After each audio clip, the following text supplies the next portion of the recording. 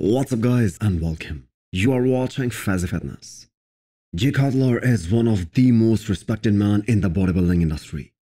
His biggest achievement is dethroning the greatest bodybuilder of all time, Ronnie Coleman. Keep in mind, Ronnie showed no signs of slowing down in 2005. That was another dominant victory of Ronnie Coleman. But Jay finally did what none of the legends like Kevin Levrone, Flex Wheeler, or Shawn Ray could do. But what made Jay Cutler so great was the comeback that he did in 09, when all the bodybuilding media, all the magazines counted him out, and the manner in which he won that Olympia and gave the bodybuilding fans one of the most dominating performances, including that iconic quad stomp that will remain in the history books as one of the best moments in the bodybuilding history. So Jay Cutler holds that unique record of losing the title and winning it back again, which none of the other Mr. Olympians could ever do. And some legends of the sport as well, like Ronnie Coleman, Phil Heath, Dexter Jackson, and Brandon Curry.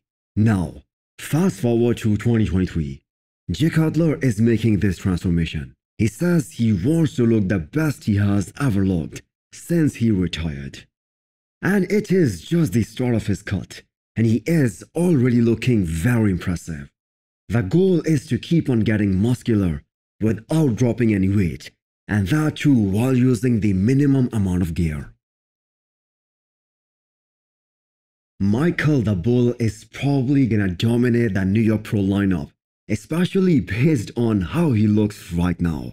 So he did some posing for Steve Weinberger and got some great pointers regarding some shots that he wasn't hitting perfectly at the Pittsburgh Pro.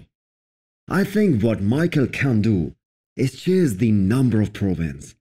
Because let's be real, he isn't a top 5 classic Olympian. Because the thing is he lacks the structure for it.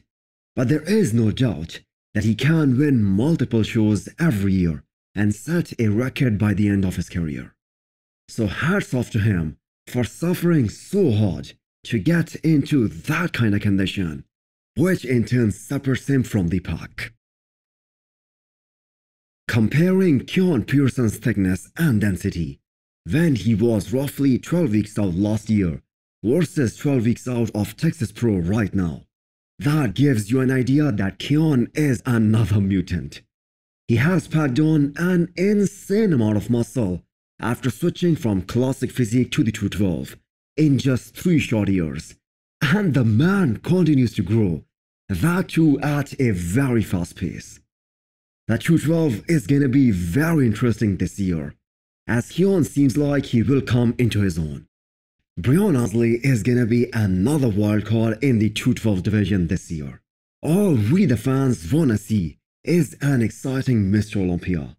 We want guys like Keone and Angel Calderon give Shaun Clarida a serious run for his money.